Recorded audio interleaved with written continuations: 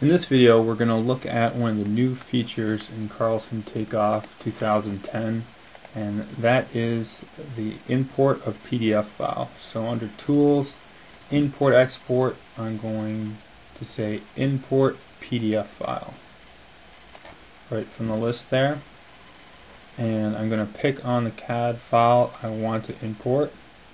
So I'm doing CAD1 PDF and open and in the import PDF file, I have three options of what to do with that PDF. So the first one here is insert line work.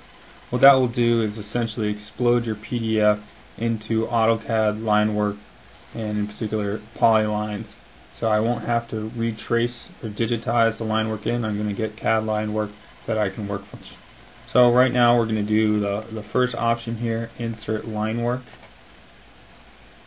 and we get this dialog that comes up. Uh, the Ghostscript is running right now to convert that PDF file and eventually it will come to this point where it says pick uh, point to insert the PDF.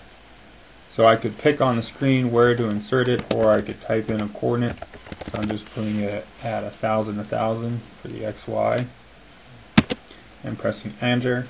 Um, specify rotation angle I'm just going to hit enter and scale. Again this is a PDF I'm not sure of what the scale is um, in the PDF file.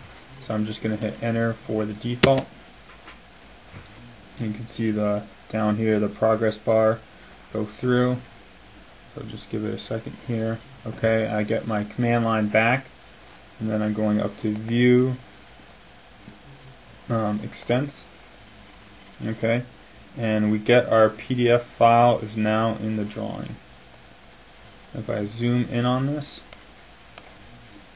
you can see I get actual line work off of that PDF file.